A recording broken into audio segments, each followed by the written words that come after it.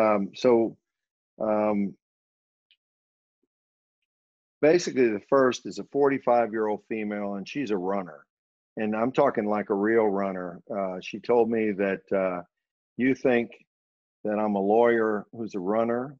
I'm a runner who happens to be a lawyer. Um, but she felt like her pronation was getting worse. She had tried orthotics and she was getting both medial bunion pain as you would expect but also she felt like she was getting medial uh, foot and ankle pain, and you can see she's got a little a little gap at her uh, inner cuneiform joint. Uh, that's not really where she hurt. I think she was getting some posterior tib tendonitis when she ran. Um, so, Jeremy, is this the one that you're talking about? You can see you've got some pronation, and clearly the sesamoids are rotated around. Yeah, and, and, I think you know if you look at this, you know, and, and, whatever guide you use, whether it's IM angles or hallux valgus angles or whatever your bunion algorithm is, I think we would all agree that this isn't a huge, ridiculous bunion, uh, but there's some features that raise concern for rotational deformity here. You see the sesamoids. Um, you can kind of guess at what the posture of the toe looks like based on the, the profile on X-ray, and then you see at the TMT joint that there's that little bit of, of gapping or a little concern for instability there. Um, and I think adding all that together, the best choice for her um, would be a, a, TMT, you know, Lapidus or, or Lapifuse type type procedure. Um, and and you know, you mentioned she's a runner who who does some legal work on the side. Um, I have not shied away from uh, the Lapidus procedure in runners. Um, and and it felt like it's been a good choice for them. Um, so our thought, the pronation, is obviously what we're going after the lap, the, the medial pain. You can see it with pronation, and then the final, can you do lapidus on a runner? So this is a, this is a gal I, I really elevated her um, her post-op management, and um, and she was back running in four months. Uh, she said, I ran in four months, but I was pain free in six months. So that's that's a real runner. Um, and um, and and this is her at her six month visit. Um, so solve the problem. Sesamoids great, minimal bunionectomy, and um, and uh, and a good progress. So um, just a comment on activity. Um, it's okay for runners um, after they fuse it doesn't matter what kind of plate or screw that you use. All right. The only other thing I would add, um, Hodge, is obviously, you know, the topic for tonight is looking at, at Lapidus and, and how, you know, we've kind of evolved in practice and thought process. But, you know, Chevron is not a bad procedure. And I think that, um, you know, I, I, think it's fair to still have that in your algorithm, as I, I pointed out at the end of the talk. I mean, we're not looking at Chevron cases, but – I think the big thing is the clinical exam and looking at the posture of the toe. If there's an IM angle of 13 degrees and the toe looks pretty straight and doesn't look like it's significantly rotated, then I have no problem with the chevron plus or minus Akin to correct that bunion. I still think that's a good operation, um, but I look at the pronation of the toe way more now than I used to. Um, so I, I, don't want to suggest that we've gotten away from any distal osteotomies, um, but I just I, I characterize the bunion a little bit differently um, with, with a new lens looking at that pronation. I agree totally. And, and this is a seven year old. Thank goodness it's not one of my patients. Uh, but this is, I still see a lot of this where people will put a plate on or, or use a system and don't really understand what you're trying to do with the correction. And while this this doc got a fusion, I'm not real sure that this patient was ever corrected. And I think your your description of your progression in this patient um, is is important, right? If you don't understand all three planes of correction, ultimately you're going to have some bad results. Uh, so so now what I do here, Jerry? Yeah, so I think um, you know try to assess if that first TMT joint is fused only from a technical perspective. If it's healed, um, I, think the proximal correction is going to be your best answer. So you would need to create more of an osteotomy um, than you know than a revision of a non-union. Uh, but I think addressing the joint proximally uh, is going to be the answer. And um, I have had a couple situations with recurrences where um, I've had to create an osteotomy at a fused TMT joint and affect rotational correction as much as anything else. Um, and so the nice part about working through a malunion is if you make a, straight osteotomy across the joint, you now have a plane through which you can rotate. Um, but that would be my approach proximally. Um, sometimes after you've debrided in a revision situation, you end up with a fair amount of gap. So I have had situations where I've had to put um, an allograft uh, wedge in um, or an allograft disc in uh, to try to maintain length. Um, and that's exactly what I did here. I used a, um, I used a, a, a wedge of uh, biofoam and was able to get the correction. And she had significant arthritis in the in the joint, so I fused it. I, I don't love doing TMT and and Hallux MP fusions, uh, but sometimes you don't really have much choice. Um, all right, here's here's this one. Had a distal osteotomy, um, and had so had bun surgery. A young adult, um, and doesn't look like the shift was great. Um, can you use a TMT correction uh, to address revisions? Yeah, and, and, I think it's for me one of the indications. Um, I would have a hard time trying to to do a distal osteotomy again in this patient. Um, if they have a T, uh, an MTP joint that has normal motion and doesn't show suggestion of pain or arthritis, um, then I think the TMT um, Lapidus type procedure is going to be a more reliable correction, um, a bit more powerful. Um, you know, in revision bunions, for me, it's typically either a Lapidus or an MTP arthrodesis. Um, you know, that MTP arthrodesis is the is the bunion procedure that will never recur. Um, but it's not for everybody. And in a, in a patient who's got a normal MTP joint, um, I, I, think the, the Lapidus is the more reliable way to go in a, in a revision. All right. So this is this was a, a good selection and uh, was able to derotate it and uh, added an Akin as I do often in revision surgery. All right, 62 year old female, bunion pain, severe pronation, uh, you know, almost got a lateral on your AP, and uh, the associated cock up second hammer toe. Are you more concerned with people that have metatarsal, lesser metatarsal symptoms, making sure that you don't shorten this this first ray? Yeah, I, I think two things that I think about. One is shortening of the first ray. The other is is really assessing um, the plantar flexion of the first ray, and so uh, in correcting the deformity, um, really want to make sure that I'm not elevating the first ray and furthering that um, that pressure on the second.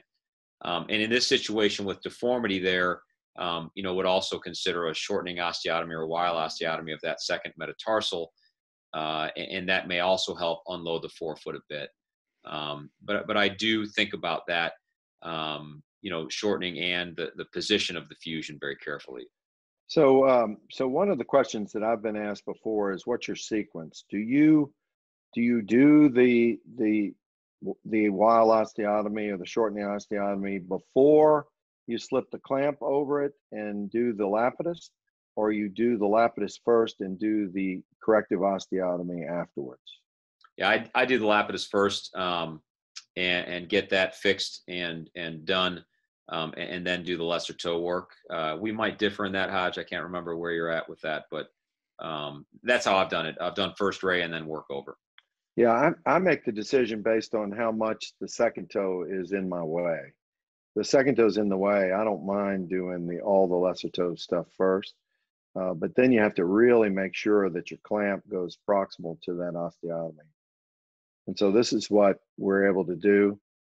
Nicely rotated, fixed the hammer toe, and then did a did a second Weil um, with excellent results. 49 um, year old with regular uh, with bilateral painful flat foot um, and hallux valgus, right greater than left. Her posterior tib was fine. She just kind of hurt all over.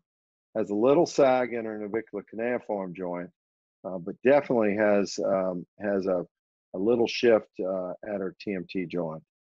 And so I'll I'll let you, you know, my options are or to do both, uh, how would you address uh, both the flat foot as well as the um, as the bunion here? Yeah, and I, I, think this is you know maybe in the category of that patient uh, that one of the listeners asked a question about earlier. Um, you know, this is a patient who probably has two problems that are that are playing off of one another. She's got some medial column instability, um, hallux valgus, and then also appears to have um, hindfoot deformity based on your description in the uh, in the stem, the lead in, and then looking at the X-ray. So this is one where I would try to figure out where most of her pain was coming from. If it really truly seemed to be like bunion pain, um, then I would address the lapidus and in her compare to the opposite foot, and I would consider a medial slide of the calcaneus if it really looked like there was um, asymmetry or that the that the hindfoot deformity was contributing to her overall foot. Because if the hindfoot still slides out and she still has hindfoot valgus, even if you do a great job of correcting the bunion, she's still going to have a tendency to pronate over on the on the medial side of that foot um, and have a, a, propensity to have increased or, or continued pain there. Yeah, and that that was definitely my my issue. So this is four or five years ago.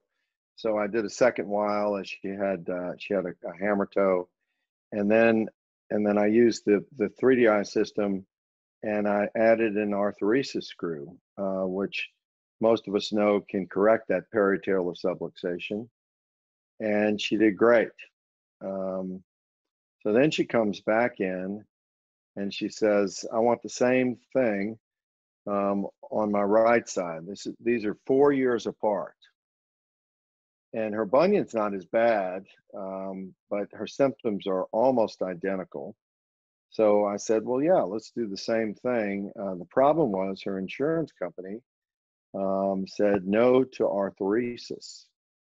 So with her, I did what you suggested, which is an MIS MDCO with a LapiFuse, and um, and she has done equally well. But she did say that uh, that um, she um, she swelled a little bit more in her hind foot after this versus the arthroereisis. Okay, this is a 53 year old uh, with a distant failed bunion procedure and persistent second metatarsal pain uh, with, uh, with really no hammer toe, just metatarsalgia. Uh, so, how do you address this? Can you just stabilize the medial column with no deformity, um, or do you have to do something to shorten the metatarsals? Yeah, I mean, I, I would think about if this patient's got global metatarsalgia, um, you know, this is a situation, just looking at her foot, I would think about gastroc in this picture. Um, I don't think it always comes up with all bunions, but as you describe this patient, um, I would think about that just as I look at that lateral x-ray. Um, but I don't think you have to shorten uh, a second toe um, all the time. Um, I think if you can uh, demonstrate that the first ray is, is dorsiflexed or unstable at the first TMT, that sometimes a plantar flexion um, Lapidus can help offload that a bit. I will tell you, however, that my my typical would be to err on the side of addressing it. Um, I don't think you have to, but I typically would if that was one of her main indications for surgery. And I will tell you that your comment about the gastroc is, is certainly salient, and uh, and more and more in my revision cases, I am adding the gastroc um, just because I, I really do think that that almost all of these have a gastroc contracture. So this is the lady that I did a lapidus with a distal. Um, and, you know, I'm doing so many fewer of these because I think I'm much more, um, I'm much better at derotating. But back in the day, I would, I would shift, I would do that for the big IM angles and then I would do a distal shift. And this one I did do a second metatarsal. But but so this is what it looked like, and I'm feeling pretty good about this. Um, but at four months, I had a recurrent. This is what she had at six months and on the right, and at four months, I had a recurrence. What what is happening um, in this patient, and how could I have done a better job to prevent this kind of recurrence? Yeah, I mean, I think that you know you you put the intercuneiform screw across. Um, you know, in this situation, I would wonder if it was more of a rotational concern through the metatarsal, where the sesamoids really kind of still wanted to be lateral a bit. Um, you were able to hold them underneath the metatarsal long enough for the medial capsule to stretch out a little bit, and then they kind of fell back into their home. That would be my best guess here, um, because if the TMT joint is fused, um, you know, I'm I'm looking carefully at the intercuneiform joint. I, I maybe a little widening there. Um, you know, the first view compared to the second. Um, Yeah, I I agree with you, Jeremy. I I really think that the more that I do, the more I appreciate the ability once I've prepared the joint to to get a triplane correction uh, with the system, and I am much better at derotating, and my recurrence rate has gone down dramatically since that. So so I agree 100% that this is a rotational issue that is probably um, a user error. Um, what about the one to two screw? Um, I know you don't do it very often. There were there were a few guys in the on the design team that do it every time, and so the tab they use the tab um, plate every time because they they put the screw through the tab plate. Um, I would say that I'm more like you, Jeremy. That I use the the one to two screw maybe 20% of the time. And, uh, and I wait to see once I have everything stable, if there's any instability, then that's when I add the one to two screw. Yeah, um, and, and, that's how I've been. Um, you know, I, I know that, uh, as you mentioned, there are some folks who really believe in that screw and and I think it just adds another point of fixation to the to the construct there. Um, you know, either either the oblique screw or the one two screw both you know, shown to be uh, improving the, the stability of the intercuneiform space there. Okay, so those those a question, Matt. I know you're coming up. We probably should. Uh, we're coming up at the end. Um, I'm going to say my thank yous and then uh, and then let you close, Matt. Um, Jeremy, thank you so much. Um, I always learn stuff from you, and thank you for that tonight. Um, I am I am very excited. I mean, you and I have been using the system for about uh, 10 months, and I know um, that it's changed our ability to get this done in a quick, efficient way, and our patients uh, seem to be doing very well. Um, I think it, it's it it's in the evolution, and it solves a lot of problems that we're seeing with other systems. Uh, so thanks very much for uh, for participating tonight. Thanks for having me. I enjoyed it.